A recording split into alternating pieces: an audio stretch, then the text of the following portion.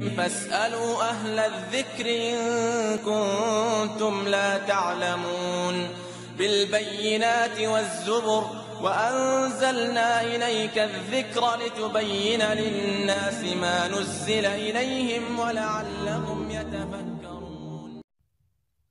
السلام عليكم ورحمة الله وبركاته. الحمد لله رب العالمين. ولا عدوان إلا على الظالمين. أما بعد فأعوذ بالله من الشيطان الرجيم ولله الأسماء الحسنى فادعوه بها সুপ্রিয় সাথী ও বন্ধুগণ ইতিপূর্বে আমরা আল্লাহ সুবহানাহু ওয়া তাআলার যে নাম এবং গুণাবলী রয়েছে বিশেষ করে তার যে নাম রয়েছে সে নামের সংক্ষিপ্ত ব্যাখ্যামূলক আলোচনা আমরা করে চলেছিলাম। ইতিপূর্বে বেশ কয়েকটি পর্ব আমরা আলোচনা করেছি। আজকে হলো পঞ্চম পর্ব। আজকের পর্বেও ইনশা আল্লাহ আমরা আল্লাহ সুবহানাহু ওয়া তাআলার যে সুন্দর নাম রয়েছে, সে নামসমূহের মাঝে একটি নাম, আল আহাদ। তিনি হলেন এক, তিনি হলেন একক, অদ্বিতীয়। এ নাম নিয়ে আমরা সংক্ষেপে কথা বলব। যারা দূরে এবং কাছে থেকে আমরা সঙ্গ দিয়েছি, সকলকে আন্তরিক অভিনন্দন জানিয়ে আজকের পর্ব আমরা শুরু করতে যাচ্ছি। আল্লাহ সুবহানহতালার নামগুলো সুন্দর। আল আহাদ তিনি হলেন একক, তিনি হলেন অদ্বিতীয়। আর এ নামগুলি সম্পর্কে আল্লাহ সুবহানতাল্লাহ সুরা আরাফের একশত আশি নম্বর আয়াতে ঘোষণা দিয়েছেন, ওয়ালিল্লাহিল আসমা উল হুসনা। আল্লাহর সুন্দর সুন্দর নাম রয়েছে। ফাদউহু বিহা। এ নামগুলি ধরে তোমরা তাকে ডাকো। এই জন্য আমাদের নামগুলি সম্পর্কে সচেতন হতে হবে, অর্থ জানতে হবে, ব্যাখ্যা বুঝতে হবে। অনুরূপভাবে সেগুলোকে ওয়াসিলা করে আল্লাহ সুবহানাহু ওয়া তাআলাকে ডাকতে হবে। এটি হচ্ছে আমাদের ইমানি দায়িত্ব। আল্লাহ সুবহানাহু ওয়া তাআলার যে সুন্দর নাম সে নাম সমূহের মাঝে একটি নাম হলো আল আহাদ। তিনি হলেন একক, তিনি হলেন অদ্বিতীয়। আর এই গুণ একমাত্র আল্লাহ সুবহানাহু ওয়া তাআলার। কেননা তিনি হলেন একক। আর এ নামের এ নামের ব্যবহার যদি আমরা কোরআন মাজিদ থেকে আলোচনা করি, তাহলে এ নামের ব্যবহার একটি সূরাতে এক জায়গাতে এসেছে। আর সেটি হচ্ছে সূরাতুল ইখলাসের প্রথম আয়াত, আল্লাহ সুবহানাহু ওয়া তাআলা ইরশাদ করেন, কুল হুয়াল্লাহু আহাদ। হে নবী, আপনি ঘোষণা দিন, বলে দিন যে তিনি আল্লাহ। আল্লাহ সুবহানাহু তিনি হলেন আহাদ, তিনি হলেন একক, তিনি হলেন অদ্বিতীয়। আল্লাহ সুবহানাহু ওয়া তাআলা এর নামটি, তিনি হলেন একক, অদ্বিতীয়। একটু আমাদের আলোচনা করা উচিত। এজন্য যারা বিশেষ করে বিশেষ করে ভাষাবিদ তারা এ নামটির ব্যাখ্যা দিয়েছেন। আল আহাদ, তিনি যেহেতু একক, অদ্বিতীয় তারা বলেছেন, হুয়াল ফরদুল্লাদি লাম ইয়াজাল ওয়াহদাহু ওয়ালাম ইয়াকুল মাআহু আহাদুন ওয়ালাম ইয়াকুন মাআহু আখর। যে আল্লাহ সুবহানাহু ওয়া তাআলা, তিনি হলেন একক। তিনি অনন্তকাল থেকে একক। আর তার কোনো সঙ্গী সাথী নাই। এই দিক থেকে তিনি একক। আল্লাহ সুবহানাহু ওয়া তাআলা তিনি হলেন একক, এক, অদ্বিতীয়। কেননা আমাদের গুণ হলো, আমাদের পিতামাতা রয়েছে, আমাদের সঙ্গী সাথী রয়েছে, স্ত্রী পরিবার রয়েছে। আল্লাহ সুবহানাহু ওয়া তাআলা তিনি হলেন একক। বান্দার যে এই গুণ, যে তার সঙ্গী প্রয়োজন, তার সন্তানাদি হয় আল্লাহ সুবহানাহু বান্দার এ অসম্পূর্ণ গুণ থেকে পরিপূর্ণ মুক্ত। এজন্য তিনি অনন্তকাল থেকে একক, এক, অদ্বিতীয় এবং তিনি তার ওই সত্তাগতভাবে, অনুরূপভাবে কর্মগত এবং তার নামগত যে দিকগুলি রয়েছে, সেই ক্ষেত্রে কিন্তু তিনি একক। আল্লাহ সুবহানাহু তাই তো সূরা সূরা আনআমের একশত এক নম্বর আয়তে ঘোষণা দিয়েছেন, আন্না ইয়াকুনু লাহু ওয়ালাদ ওয়ালাম ওয়ালাম তাকুল্লাহু সাহেবা। যে তার কীভাবে সন্তান হতে পারে, অথচ তার সঙ্গী নাই, তার স্ত্রী নাই। আল্লাহ আকবর। এই ক্ষেত্রে তিনি একক, তার কোনো সন্তানাদি নাই, তার কোনো স্ত্রী পরিবারের প্রয়োজন নাই, কেননা তিনি হলেন স্রষ্টা। তিনি মানুষের এই অসম্পূর্ণ গুণ থেকে তিনি পরিপূর্ণভাবে মুক্ত। এজন্য এ নামের ব্যাখ্যাতে বিশেষ করে ভাষাবিদগণ বলেছেন, আহাদুন ফি দাতিহি। আল্লাহ সুবহানাহু তাআলা তিনি যে একক, অদ্বিতীয়, এটি সত্তাগতভাবে তিনি একক। কেননা, আমাদের যে পরিচয়, আমরা কিন্তু একক নই। বরং আমাদের আমাদের আধিক্য রয়েছে আমরা অন্যের পক্ষ থেকে এসেছি, আমাদের পক্ষ থেকে অন্যরা কেউ আসবে, আমাদের সাথী সঙ্গীর প্রয়োজন রয়েছে। কিন্তু আল্লাহ সুবহানাহু ওয়া তাআলা তার কোনো সাথী সঙ্গীর প্রয়োজন নেই। তিনি সত্তাগত দিক থেকেই তিনি একক। তিনি হলেন আহাদ ফি দাতিহি ওয়া আসমাইহি। তার যে নাম রয়েছে, সুন্দর সুন্দর নাম। এই মর্মে সূরা আরাফের একশত আশি নম্বর আয়াত আমরা বলেছি আল্লাহ তাআলা বলেছেন, ওয়ালিল্লাহিল আসমাউল হুসনা। আল্লাহর অনেক সুন্দর সুন্দর নাম রয়েছে। এ নামের ক্ষেত্রে তিনি একক। এ নামগুলি যা অর্থ বহন করে, এই দিক থেকে কিন্তু তিনি একক। কেননা, যে নামগুলি আল্লাহ সুবহানাহু ওয়া তাআলা তিনি তার জন্য নির্ধারণ করেছেন, নামের যে অর্থ, চাই ওয়াহাব হতে পারেন। আল্লাহর নাম হলো ওয়াহাব। তিনি অধিক দাতা। তার এ নামের ক্ষেত্রে তিনি একক। কেন অধিক দেওয়া একমাত্র রব্বুল ইজ্জাতের জন্যই শোভনীয়। মানুষ কিন্তু অধিক দিতে পারে না। তার পরিধি রয়েছে, তার লিমিট রয়েছে যে এত দিতে পারে মানুষ। রব্বুল ইজ্জাত আল্লাহ সুবহানাহু ওয়া তাআলা তিনি এই ক্ষেত্রে তিনি একক। ওয়াসিফাতিহি গুণগত দিক থেকে তিনি একক। আল্লাহ আকবর। তার যে গুণ রয়েছে, হতে পারে শ্রবণ হতে পারে দর্শন, হতে পারে কহর যেটি শক্তি, প্রজ্ঞা, তার যে মহাশক্তি, এ শক্তির দিক থেকে তিনি একক। তার যে গুণ রয়েছে, গুণের দিক থেকে একক, আমরা তো তাই তো জানি। আল্লাহ সুবহানাহু ওয়া তাআলা তিনি একই সাথে সব কিছু শোনেন, একই সাথে সব কিছু দেখেন, একই সাথে সব কিছুকে দিতে পারেন। সবার ডাক শোনেন এবং সকলকে একসাথে দিতে পারেন। এই গুণ একমাত্র আল্লাহ সুবহানাহু ওয়া তাআলা। এই জন্য সত্তাগত দিক থেকে তিনি একক। অনুরূপভাবে নামের ক্ষেত্রে নাম, তার যে নাম রয়েছে, নামের যে অর্থ রয়েছে, এই অর্থগুলো একমাত্র তার জন্যই প্রযোজ্য। অনুরূপভাবে এক্ষেত্রেও তিনি একক। আর আমরা বলব, তার গুণগত দিক থেকে তিনি একক। অতএব, ফালা নিদ্দালাহু ওয়ালা শাবিহা। ওয়ালা মাসিলা, ওয়ালা নাজির তার সাদৃশ্যপূর্ণ, তার সমকক্ষ, তার সমতুল্য, তার শরিক, আর কেউ নাই। একমাত্র আল্লাহ তাআলা, তিনি তাহার মতো, তিনি হলেন একক, তিনি হলেন অদ্বিতীয়।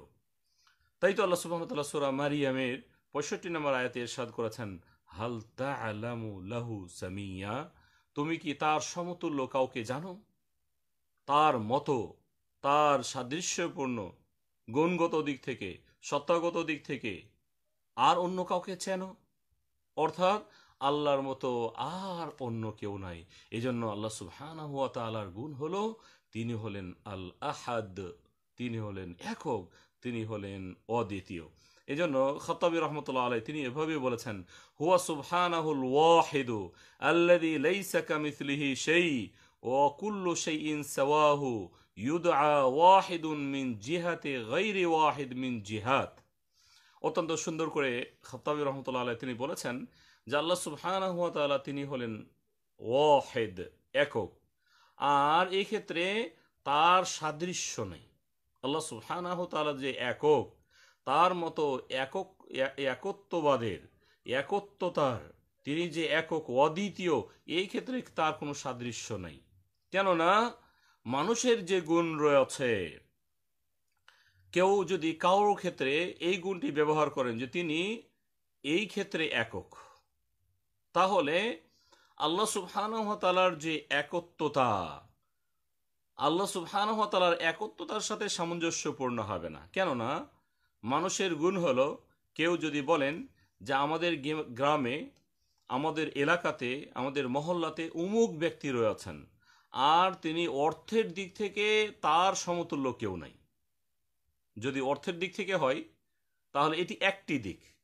আর এই দিকগুলি দেখা যাবে যদিও অর্থের দিকে ওই ব্যক্তির চেয়ে বেড়ে কেউ নাই, অধিক কারও অর্থ নাই, তবে মান সম্মানের দিক থেকে তার চেয়ে অনেক অনেক গুণে বেশি রয়েছেন অনুরূপভাবে পাওয়া যাবে যে শিক্ষা দীক্ষার ক্ষেত্রে তার চেয়ে অন্যরা অনেক গুণে বেড়ে রয়েছেন।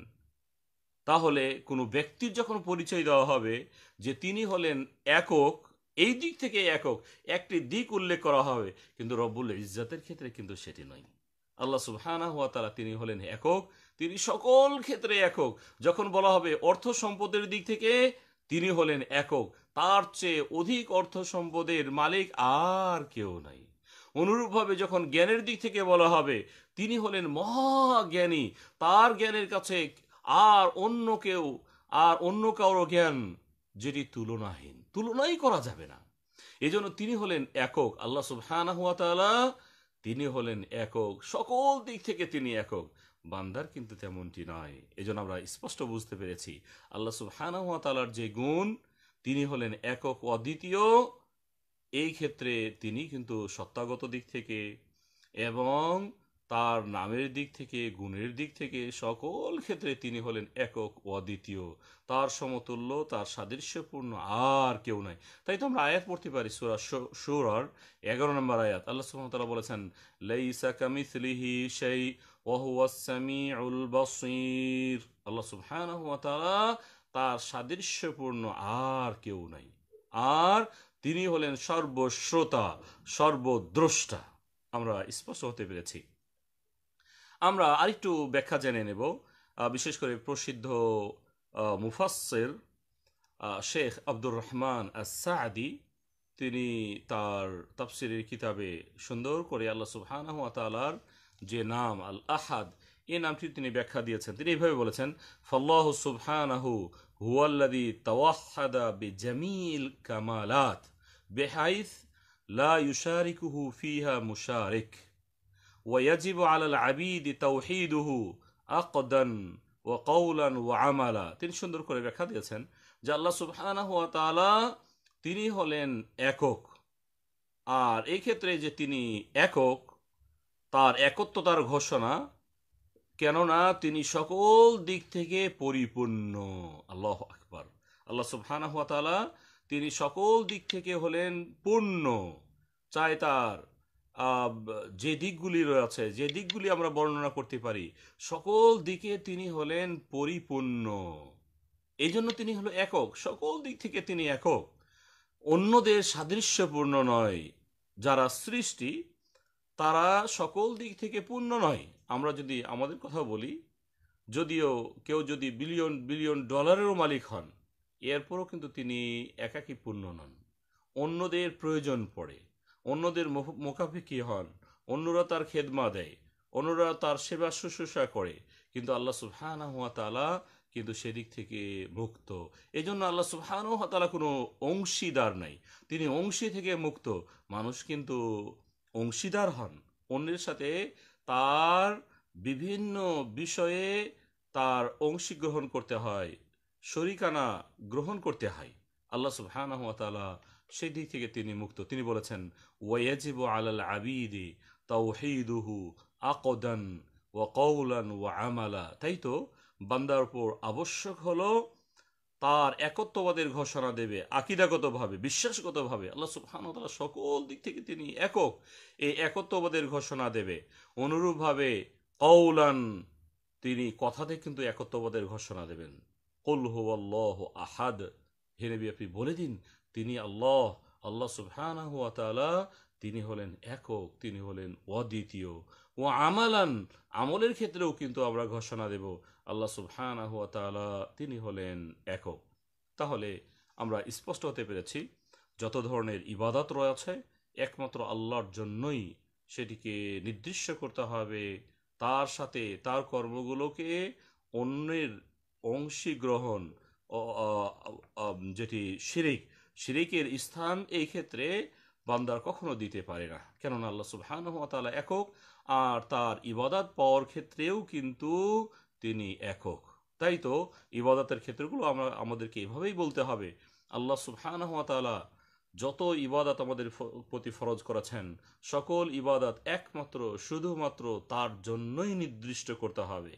কেউ যদি তার ইবাদতকে অন্যের জন্য বিন্দুও দেন, তাহলে সে বিন্দুও অন্যায় এটি হচ্ছে শেখ এজন্য আল্লাহ সুবহানাহু তিনি হলেন আল আহাদ তিনি হলেন একক অদ্বিতীয় আল ওয়াহিদু ফি উলুহিয়াতিহি আল মুস্তাহিক লিল ইবাদাহ এজন্য বিশেষ করে ভাষাবিদগণ বলেছেন যে আল্লাহ সুবহানাহু যখন একক, এক, অদ্বিতীয়, তিনি তার ইবাদত পাওয়ার ক্ষেত্রে তিনি একক এই ক্ষেত্রে তিনি হকদার হলেন বান্দার ইবাদত বন্দিগি পাওয়ার একনিষ্ঠভাবে তাই তো আল্লাহ সুবহানাহু ওয়া তাআলা ছাড়া যত ইবাদত বন্দিগি হয় সবগুলোই কিন্তু বাতিল আল্লাহ সুবহানাহু ওয়া তাআলা তাই তো তিনি বলেছেন যালিকা বিআন্নাল্লাহ যালিকা বিআন্নাল্লাহ হুয়াল হাক্ক وأن ما يدعون من دونه الباطل ওয়ান্না হুয়াল আলিউল কবির।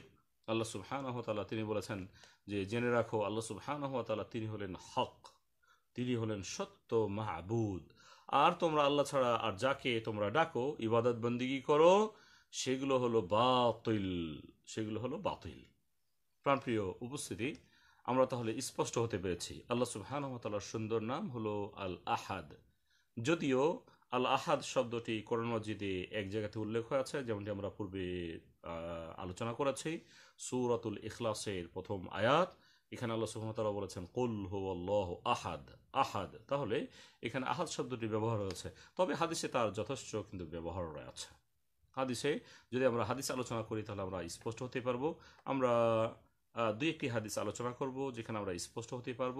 আল্লাহ সুবহানাহু ওয়া যে নাম আহাদ এই নামটির ব্যবহার হয়েছে এই মর্মে হাদিস বর্ণনা করেছেন বুরাইদ আল আসলামী রদিউল্লাহ তাআলা আনহু নবী সাল্লাল্লাহু আলাইহি ওয়াসাল্লামকে তিনি বলতে শুনেছেন কল সামিয়ান নবী সাল্লাল্লাহু আলাইহি ওয়াসাল্লাম রজুলান ইয়াদউ ওয়া হুয়া ইয়াকুল আল্লাহ নবী একজনকে বলতে শুনলেন اللهم إني أسألك بأني أشهد أنك أنت الله لا إله إلا أنت الأحد الصمد الذي لم يلد ولم يولد ولم يكن له كفوا أحد قال বর্ণনাকারী বলেন فقال النبي صلى الله عليه وسلم والذي نفسي بيده لقد سأل الله باسمه الأعظم الذي إذا دعي به أجاب وإذا سئل به أعطى যে হাদিসটি ইবনে মাজাতে এসেছে, তিরমিজিতে এসেছে।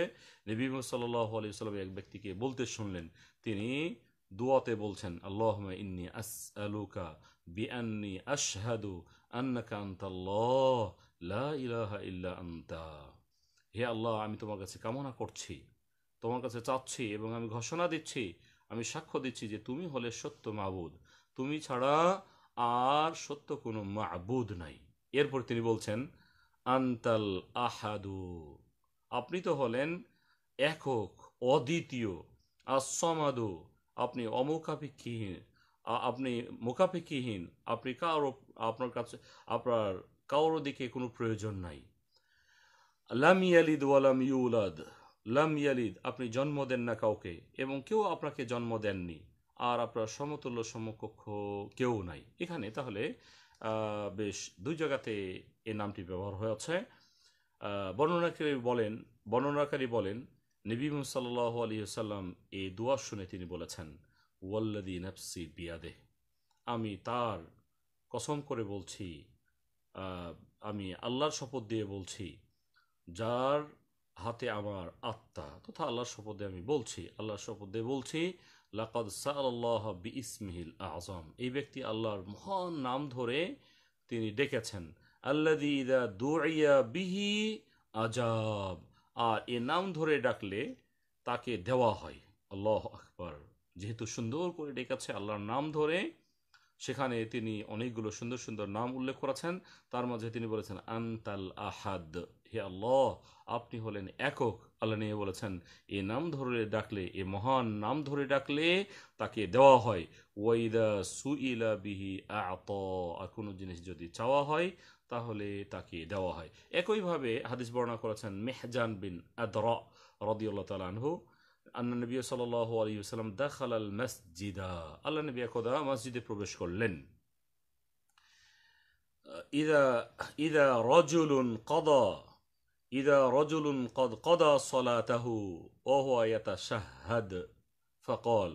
আল্লাহ নবী মসজিদে প্রবেশ করলেন, এমত অবস্থায় এক ব্যক্তিকে দেখলেন তিনি তার নামাজ সম্পূর্ণ করলেন আর নামাজের তাশাহুদে তিনি দোয়া বলছিলেন ফকল আল্লাহুম্মা ইন্নী আসআলুকা ইয়া আল্লাহ বিআন্নাকা বিআন্নাকা আল ওয়াহিদু আল আহাদু الصمد الذي لم يلد ولم يولد ولم يكن له كفوا احد ان تغفر لي ذنوبي انك انت الغفور الرحيم فقال رسول الله صلى الله عليه وسلم কদ গুফির আলাহু কদ গুফির আলাহু কদ গুফির আলাহু আল্লাহ এক ব্যক্তিকে তিনি তাসাহদে বলতে শুনলেন, তিনি দোয়া বলছেন জি আল্লাহ, আমি তোমার কাছে চাচ্ছি, আল্লাহ, তুমি হলে আহাদ আল ওয়াহেদ তুমি হলে একক, এক অদ্বিতীয় আল আহাদ তুমি হলেন তুমি হলে এক অদ্বিতীয় আসমাদ তুমি অমকাপেক্ষী। এরপরে তিনি সুন্দরভাবে বলছিলেন আল্লাহর যে গুণগুলি আল্লাহ নবী আল্লাহ নবী বললেন যে, সে দোয়াতে সুন্দর করে এভাবে বলেছে আন্তাক ফিরালি জুনুবি আল্লাহ, তুমি আমার আমার গুণাগুলিকে ক্ষমা করে দাও। কেননা ইন্নাকা আন্তাল গফুর রহিম। আপনি তো হলেন গফুর, অধিক ক্ষমাকারী এবং অধিক করুণাময়। নবী সাল্লাহ আলী সাল্লাম শুনে বললেন, কদ গুফির আলাহু, কদ গুফির আলাহু, কদ গুফির আলাহ। তার ক্ষমা করা হয়েছে। তাকে ক্ষমা করা হয়েছে তাকে ক্ষমা করা হয়েছে। আল্লাহ নবী তিনবার উচ্চারণ করলেন। যে হাদিসটি সোনানি নাসাইতে এসেছে। এখান থেকে কিন্তু আমরা স্পষ্ট হতে পেরেছি যে এখানে আল্লাহর নাম আল আহাদ আল ওয়াহিদ আল সমাদ এই নামগুলি ব্যবহার হয়েছে তার মাঝে আল্লাহর নাম যেটি আহাদ তিনি এক অদ্বিতীয় বা একক অদ্বিতীয় এই নামটির ব্যবহার হয়েছে আমরা আজকের পর্ব শেষ করব। যেহেতু আল্লাহ সুবাহানহতালার নাম আহ, যে নামগুলি রয়েছে, তার মাঝে একটি নাম হলো আল ওয়াহেদ অনুরূপভাবে আল আহাদ যার অর্থ কাছাকাছি। তিনি হলেন একক অদ্বিতীয়। এক অদ্বিতীয়। এই ক্ষেত্রে এই দুটি নামের যে, দুটি নামের মাঝে যে তা পার্থক্য বা তারতম্য, সেগুলো আমরা সংক্ষেপে বলব। ওলামাগর উল্লেখ করেছেন যে এই দুটির এই দুটি নামের মাঝে একটু পার্থক্য রয়েছে। যদিও নাম বর্ণনার ক্ষেত্রে বা নাম ব্যবহারের ক্ষেত্রে কোরআন মাজিদে আল আহাদ নামটি একবার এসেছে আল ওয়াহেদ নামটি বাইশ বার এসেছে। আর এই দুটি নামের মাঝে সংক্ষেপে পার্থক্য হলো, ওলামাগুলো উল্লেখ করেছেন আন্নাল ওয়াহেদ ইস, ইসমুন আল ওয়াহেদ যে ওয়াহেদ নামটি, এটি হলো এমন নাম যেটি গণনাতে শুরু হয়। যখন আরবি গণনা হয়, তখন বলা হয় ওয়াহেদ ইসনান সালাসা। তাহলে এক থেকে গণনা শুরু হয়, যেটি ওয়াহেদ ওয়াহেদ মানে এক। আর যেটি আহাদ আহ, ওলামগণ বলেছেন যে এই আহাদ নামটি কিন্তু গণনাকে বন্ধ করে দেয় তথা এটি এমন নয় যে আহাদুন মানে এক ইসনান সালাতা এইভাবে বলা হয় না। এক দুই তিন এভাবে বলা হয় না। বরং যখন আহাদ বলা হয় তখন বলা হয় একক। আর যখন ওয়াহেদ বলা হবে তখন তার নাম হলো তিনি হলেন এক। এক বলার সাথে সাথে আরও সুন্দর করে উচ্চারণ করতে হবে তিনি অদ্বিতীয়। অদ্বিতীয়। কেননা একের পরে কিন্তু দুই তিন শুরু হয়। তাহলে অর্থগত দিক থেকে এক ওয়াহেদ এবং আহাদ এই দুটি নামের মাঝে এতটুকু পার্থক্য আছে একইভাবে ওলামগণ উল্লেখ করেছেন আল আহাদ এই নামটি অনেক ব্যাপক অর্থবোধক নামা অর্থবোধক নাম। এই ক্ষেত্রে আহ, আহ, আল ওয়াহেদ যে নামটি, এ ওয়াহেদ নামটি এভাবে বলা হয়। মাহফিদ্দারে ওয়াহেদুন, যে এই ঘরের মাঝে একজন ছাড়া আর কেউ নাই। কিন্তু দুজন হতে পারে। মাহফিদ্দারে ওয়াহেদুন, এই ঘরে একজন নাই। এই ক্ষেত্রে বলা যেতে পারে যে দ্বিতীয় জন দুইজন, তিনজন, চতুর্থজন, তারাও হতে পারে। কিন্তু ব্যবহারের ক্ষেত্রে যখন বলা হবে মাহফিদ্দারে আহাদুন যে এই ঘরে কেউ নাই একজন ছাড়া তাহলে এখানে এককের যে অর্থের দিক থেকে আহ, আহাদ শব্দটি আরও অধিক অর্থবোধক ওলামগণ এমনটি উল্লেখ করেছেন যে এমনকি গুণ বর্ণনা করার ক্ষেত্রেও কিন্তু এইভাবে বলা হয় না যে সৌবুন সৌবুন আহাদুন একটি পোশাক এভাবে বলা হয় না। বরং সৌবুন সৌবুন ওয়াহেদুন সৌবুন একটি পোশাক। তাহলে অর্থগত দিক থেকে যে আহাদ নামটি, এটি ব্যাপক অর্থবোধক। তিনি হলেন তার একত্বের দিক থেকে তিনি হলেন একক অদ্বিতীয়। আমাদের কাছে স্পষ্ট হয়ে আছে যে আল্লাহ সুবহানাহু ওয়া তাআলার নাম হলো আল আহাদ। ইনশাআল্লাহ, আমরা আল্লাহ সুবহানাহু যে সুন্দর সুন্দর নামগুলি রয়েছে সে নামগুলি ধারাবাহিকভাবে সংক্ষেপে হলেও আমরা আলোচনা করব। শেষ করব আজকের আলোচনা। এই নামটি ধরে আমরা আল্লাহকে কীভাবে ডাকবো? কেননা আল্লাহ তাআলা বলেছেন, ওলিল্লাহিল আসমাউল হুসনা ফাদউহু বিহা। আল্লাহর সুন্দর সুন্দর নাম রয়েছে, সে নামগুলি ধরে তোমরা ডাকো। এই ক্ষেত্রে আমরা যেহেতু হাদিস আলোচনা করেছি, যেহেতু আমরা হাদিস আলোচনা করেছি, হাদিস পড়েছি সাহাবাগুন এইভাবে আল্লাহর, আল্লাহকে ডেকেছেন। অনুরূপভাবে আমরা এই নামগুলি ধরে এইভাবেই ডাকবো আল্লাহুম্মা ইন্নি আসআলুকা বিআন্নি আশহাদু আন্নাকা আনতাল্লাহ, লা ইলাহা ইল্লা আনতা, আল আহাদু সামাদুল্লাযী লাম ইয়ালিদ ওয়া লাম ইয়া- ইউলাদ ওয়া লাম কুফুয়ান আহাদ। এরপরে আমরা আমাদের ভাষাতে ডাকবো অথবা আমরা আমাদের প্রয়োজন মাফিক আমরা আল্লাহ সুবহানাহু তালাকে ডাকবো যে, আল্লাহ তুমি হলে একক, অদ্বিতীয়, তুমি আমাদেরকে সব কিছু দিতে পারো। কেননা যা কিছু আছে, আসে, যা কিছু দেওয়ার অধিকার একমাত্র তুমি রাখো। অতএব আমার এই চাওয়াটি তুমি পূর্ণ করো। তুমি তো হলে একক, তোমার গুণ হলো একক। এভাবে সুন্দর করে আল্লাহ সুবহানাহু ওয়া তাআলাকে ডাকতে হবে। কেননা আল্লাহ সুবহানাহু ওয়া তাআলা তার নামগুলি ধরে ডাকার ব্যাপারে আমাদেরকে আদেশ করেছেন। আল্লাহ ওয়া আমাদের সকলকে সুন্দরভাবে তার নামগুলি রয়েছে, সে নামগুলিকে জানার তৌফিক দান করুন, আয়ত্ত করার তৌফিক দান করুন। অনুরূপভাবে তার তাফসীর সংক্ষেপে ব্যাখ্যা বোঝার আমাদেরকে তৌফিক দিন। সাথে সাথে আমরা এ নামগুলি ধরে আল্লাহ সুবহানাহু আল্লাহ সুবহানাহু তাআলা আল্লাহ সুবহানাহু তাআলাকে যে আমরা ডাকবো, আল্লাহ সুবহানাহু তাআলা আমাদের ডাকে সাড়া দেবেন। আমরা সকলেই আল্লাহ সুবহানাহু তাআলার সুন্দর নামগুলি ধরে ডাকবো এবং সুন্দরভাবে অর্থ জানব। যেহেতু এই মর্মে হাদিসও রয়েছে, যে ব্যক্তি আল্লাহ সুবহানাহু তাআলার সুন্দর এ নামগুলি আয়ত্ত করল, মুখস্থ করল আমল করল, যা অর্থ দাবি করে, তিনি জান্নাতি হবেন। আল্লাহ সুহামতাল আমাদের সকলকে জান্নাতের সুউচ্চ মর্যাদায় স্থান দান করুন। ও সাল্লাহ তালা আলা নবীনা মোহাম্মদ ওয়া আলা আলহি ওয়া ওসাল্লাম আসসালামু আলাইকুম রাহমাতুল্লাহি